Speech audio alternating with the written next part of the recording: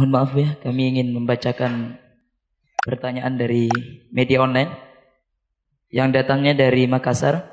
Assalamualaikum Bu ya. Waalaikumsalam. Saya ingin bertanya, saya seorang perempuan dari Makassar Bu ya. Saya mempunyai ayah dan ibu sedang sakit. Ayah saya sakit stroke dan ibu kakinya lumpuh juga Bu ya. Ayah dan ibu saya sudah buang air kecil di celananya. Yang saya tanyakan bagaimana cara sholatnya karena terus menerus buang air kecil. Dan mohon doanya Bu ya buat saya agar diberi kekuatan karena mohon maaf yang namanya orang sakit suka rewel Bu ya. Syukron. Wassalamualaikum warahmatullahi wabarakatuh. Assalamualaikum. Baik. Anak yang baik berpikir bagaimana berbakti kepada orang tuanya untuk keselamatan di akhiratnya. Memikirkan gimana sholat ibundanya. Sekarang banyak orang tidak memikirkan kebaikan di akhirat untuk orang tuanya. Coba, alangkah banyaknya seorang anak di saat bapak ibunya sakit, mungkin langsung dibawa ke rumah sakit. Kemudian dibiayai dengan puluhan juta barangkali. Untuk keselamatan jasadnya. Cuman sekarang, mana di antara kita, anak yang membiayai ibunya untuk menjaga sholatnya? Suster di rumah sakit itu kan menjaga jasadnya. Pernahkah kita membayari orang untuk menjaga sholat ibunda kita, ayahanda kita? Menjaga kebersihan anak ayahanda kita? Kita sering memikirkan jasadnya saja, tidak memikirkan tentang rohaniat ibunda kita dan ayahanda kita. Baik, yang ditanyakan adalah, inilah anak yang solehah insya Allah.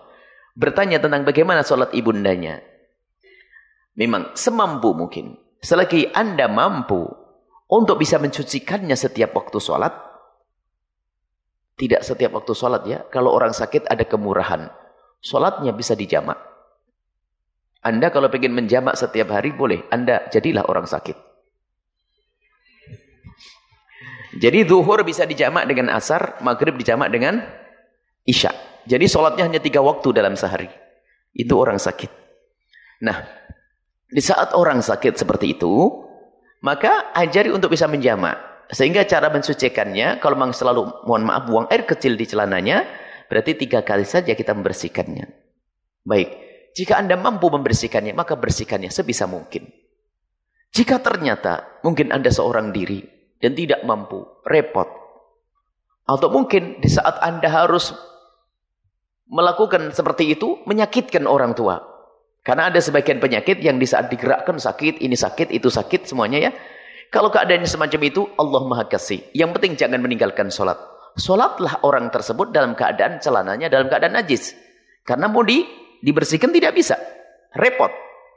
Kalau memang Anda membersihkan ibunda Anda, Anda membersihkan ayah Anda, Anda merepotkan beliau, merepotkan beliau, maka tidak usah dibersihkan. Allah Maha Kasih.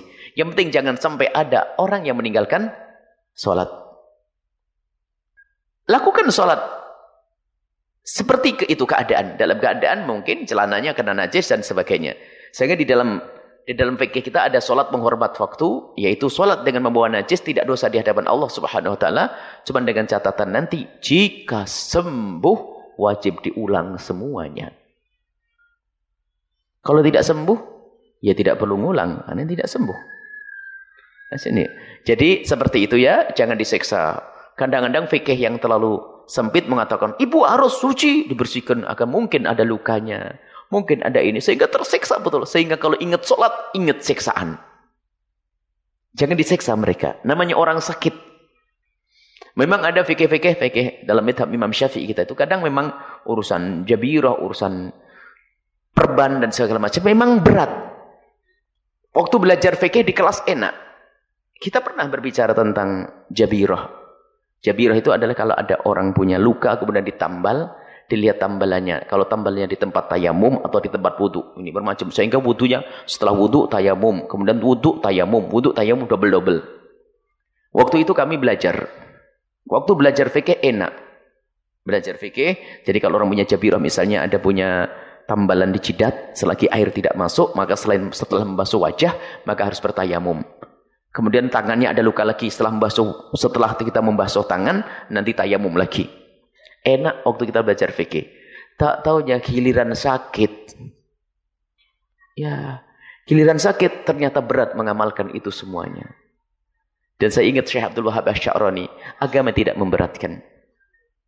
Selagi berat, ambil yang gampang, khususnya untuk orang-orang sakit. Kalau Anda sehat, bolehlah Anda mengambil pendapat yang paling kuat. Tapi orang sakit beda. Yang penting, jangan sampai ada orang meninggalkan sholat. Dalam keadaan seperti itu pun diperkenankan. Cuma nanti dengan catatan, kalau sehat, mohon diulang semuanya. Dan ini tidak keluar dari batab kita Imam Syafi'i. Karena apa? Berat memang. Karena lumpuh itu yang namanya lumpuh, kadang-kadang kita tidak, beliau tidak bercerita memang berat badannya seberapa, sakitnya kayak apa. Karena kita ngerti. Kadang mungkin di rumahnya seorang perempuan sendiri. Bahkan mungkin kalau harus menggantinya, malah ke mana-mana najisnya. Kemudian kasurnya seperti apa. Repot itu semuanya. Akan tapi Islam adalah agama yang mudah. Maka biarkan beliau sholat dalam keadaan kasurnya kena najis atau bajunya kena najis, selagi memang susah bagi anda untuk membersihkannya, biarkan beliau sholat dalam keadaan seperti itu, dan alangkah indahnya di saat lagi sholat, kemudian dicabut nyawanya oleh Allah dalam keadaan ingat Allah subhanahu wa ta'ala. Jadi mohon kepada orang yang sehat, jangan seksa orang yang sakit dengan ilmunya orang sehat. Selesai. Wallahu a'lam bisawab.